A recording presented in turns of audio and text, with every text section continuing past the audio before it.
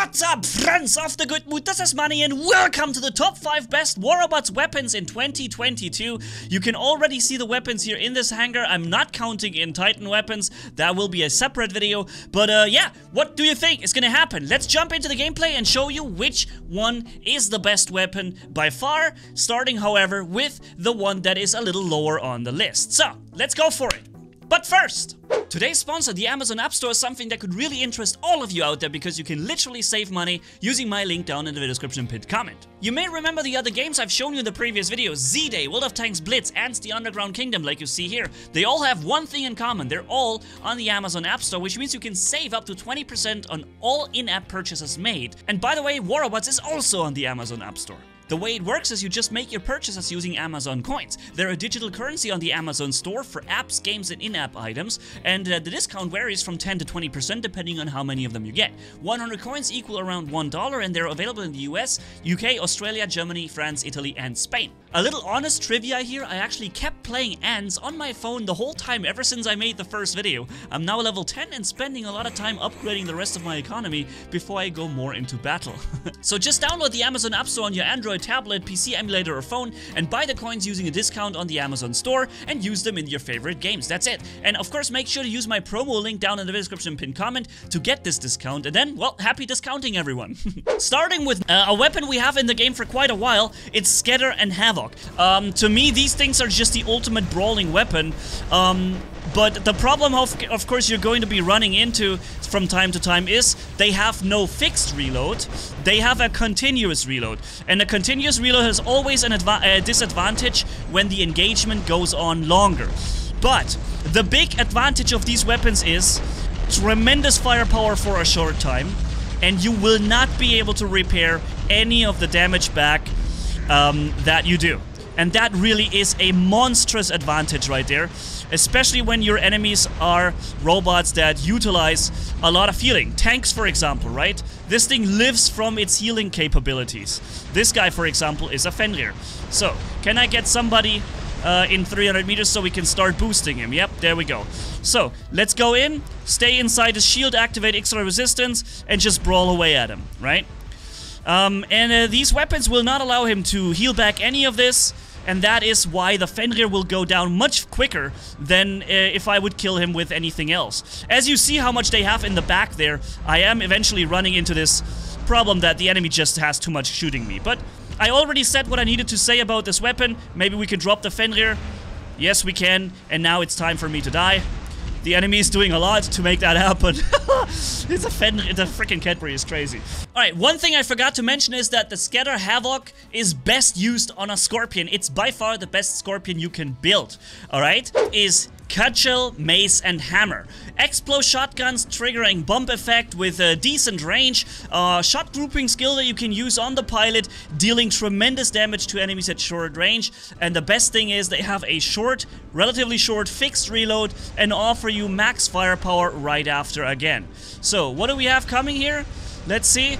It is a Mender boy, and you can see he's already taking damage when that shield pops up. I'm jumping on him now, reloading at the same time, and then let's see what we can do about him here in short range. Bum, bum, bum, bum. Right there. Alright, so. Um, the Mender has a, a lot of HP. He's very tanky, but we are, so are we, and we have the firepower to eliminate him very quickly. And no matter how much he runs for his life, he's not gonna be able to get away from this. Even though I was just suppressed, I was still, still able to kill the guy, because the bump effect doesn't really care about his suppression, right? And that is a cool thing, because the bump effect will do the full damage regardless. Here's a Scorpion, and I definitely want to drop the Scorpion. Pop! Ah, he almost died. No, he did die. Extra resistance activated here. We have plenty of enemies on us. One of them being this guy. And you see what you can do here uh, with this particular setup.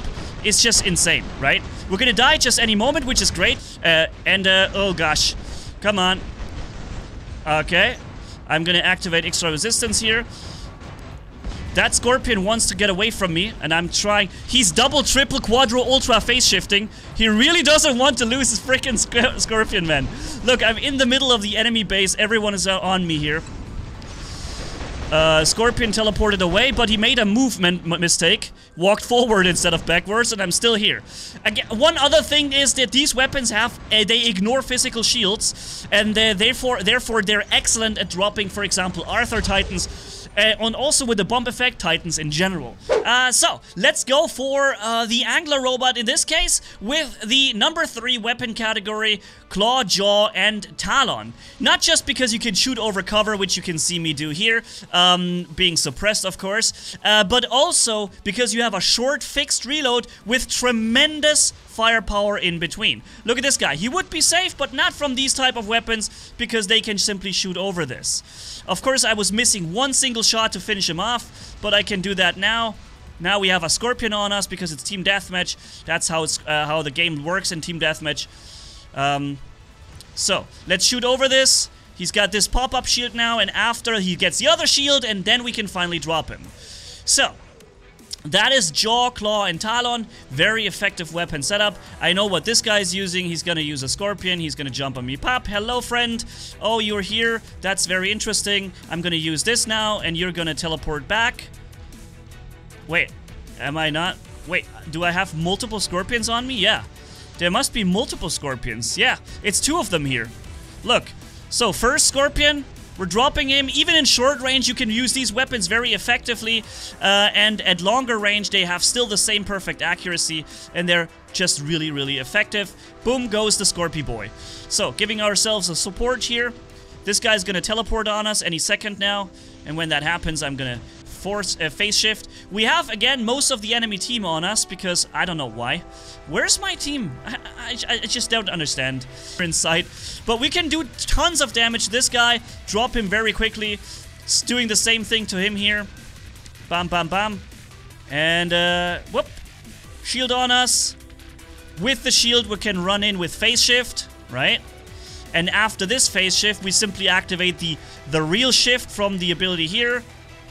And we're gonna stay on this guy, but we're gonna drop him. He's gonna lose his target lock. See if we can drop him. He's got a uh, last stand now. Can I drop him before he go? No. Okay. But you saw how much we were able to do with these Claw, Jaw, and Talon. Super powerful weapon setup. One that I really, really like. So, number two is the Blight, Decay, and Hazard, of used on a Fenrir. Here, of course, you can use it on any number of things. Um, the advantages are easy to summarize. 600 meters range, perfect accuracy, ultra short fixed reload for maximum damage output, right? Uh, you can even use it on tanks, but obviously on a Leech or on, um, on, a, on a Typhon robot, these things simply work well, no matter what. I'm coming in here, boom, activating uh, my, my my, resistance back. And even as a brawler, remember this is a high damage output sniper weapon, but it is even used extremely well in short range as well. So you can brawl with it, you can snipe with it, and uh, the fact that you have this ultra short fixed reload makes it always a good choice in, um, in, in, in any encounter that lasts longer. Bum bum bum, bum bum bum. That target switch really kills it for me here, but we're still in the game. We have half the enemy team firing me at me at the same time as usual. Look at this guy, he's knocking himself out, having so much fun ruining my play here. But I'm gonna be firing back at him and he instantly dies. Why? Because we have a weapon with 600 meters range that offers the necessary firepower to punish somebody who's just not careful for one single second. Scorpion coming in from behind there. Let's see. Bam bam. Bam bam. And he's almost done. And that is at 600 meter max range. Show me a weapon that can do something like this, having a fixed reload and being back with full firepower pretty much immediately. This really is a game changer, and that is, in my opinion, why this weapon deserves its spot so high up in this list of the best weapons. We were not able to drop him because he really walks into the tiniest of corners down there, but we are still dropping a lot of other things. To last stand, it's basically all I'm able to do is pe drop people to last stand. I can't kill anybody, because every time I try, they walk behind cover. And the insane amount of resistance we have on the Fenrir allows me to survive. Three, two, one, pop, and there goes this guy. Look at this. We're still in the game, can you believe it? Bam, bam, bam. One quick shot and he almost bit the Farn right there. Bop. Damn, the Titan is so high, I can hit him perfectly from here. He's coming in, he really wants to kill us, but uh, yeah. Look how fast we can drop this dude at that range. I mean, we're shooting a Titan, and he doesn't really stand the slightest chance. Pop Titan Slayer, no problem, with 600 meters range. And so, in my opinion, there is no question about it. This thing is by far one of the most effective weapons in the game. And, um, yeah, it deserves that spot on this list. Look, he barely he barely dares to come out because he knows what happens when that thing triple shots him. Pop, pop, pop. He got, he's gone. That's what happens. Pop, pop, pop. This guy, one shot, he's pretty much killed as well. Reloading quickly, pop, back, and full firepower again. This is nuts. It's an absolute nutter, nutter weapon here. That was one shot at the Ao Ming and he loses 20% of his HP. Flies away. Bam, bam, bam, bam. I'm even dropping an Ao Ming at this point.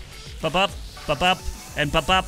Getting shot by so many things now, but still, I'm in the game the most powerful weapon in this list, and that is the one you see on all the meta robots. Of course, the Behemoth is very popular with it, the Seraphs are very popular, immense burst damage weapon fire output that's higher than any other weapon. Uh, maybe maybe Glacier is better, but that would be the only one. Look what we can do at max range. 500 meters is a high amount of range to deal with uh, robots. And um, yeah, it's just uh, it's just absolutely brutal what this weapon can do. Look at this guy. He lands with only 20 uh, or half his HP because this is how much firepower we have. The reload is really short and then you have that super high damage output. One thing Pixonic has never done, Pixonic never gave this weapon the ability to narrow down its firing pattern with a, a shot grouping skill, which is probably good because if they did, this thing would just be even more broken. Look how fast Titans just get deleted from it. I mean, there's just no question about it. And if you run this on a Seraph, you're gonna be absolutely broken overpowered at this point. Let's finish this Titan pop. There we go. And then this guy, once he comes out of his stealth, he loses 20%, even though I was almost uh, out of firepower before. Emptying the clip. Pop, there he goes. Emptying it on him, and pop, you lose. It's just... It's nuts. And you fill up the battleship meter so fast, too. So this guy, pop, there goes the Scorpion. He thought he could sneak in, sneak one in from behind, but no sir, you cannot. This guy, even in his ability, I'm still doing so much damage that he almost dies from it. It is really unreal. Ravana is gonna use his ability charge, but no! He forgot! He forgot that he can press the button and he basically dies in one second. Of course, this was combined with the maximum firepower drones and everything, but this is my current top 5 most powerful weapon ranking here of War Robots. Um, one thing I should mention, Fainter is really powerful too, however it tends to miss pretty much everything at long range. Uh, it's very hard to aim right with it at shorter range because of lags. Uh, the weapon has a continuous reload, which in the end, with longer engagements, hmm, makes it not necessarily the most powerful thing, although it is extremely powerful, but it didn't make it into the list here. Also, it, it depends on how you play your robots, what maps you want to play. Do you play alone or not? Are you a loner? Uh, you play with uh, squad mates who use uh, brawling, teleporting robots or whatever, then you definitely want something like Havoc or the um, Cudgel Mace Hammer. Um, also, if you play more alone and you tend to get isolated or play alone, then uh, these weapons here are really good, including punchers. Also, this on pretty much any map, these are great.